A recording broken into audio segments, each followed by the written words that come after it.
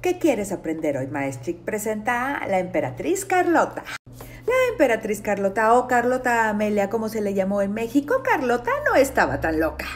Una extraordinaria intelectual conocedora de políticas, artes, leyes y filosofía y por supuesto con muchísimos títulos nobiliarios en Europa.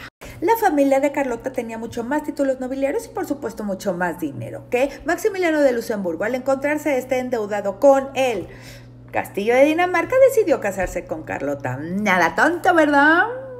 Carlota antes de llegar a México se preparó de geografía, historia, indígenas, flora y por supuesto su lenguaje.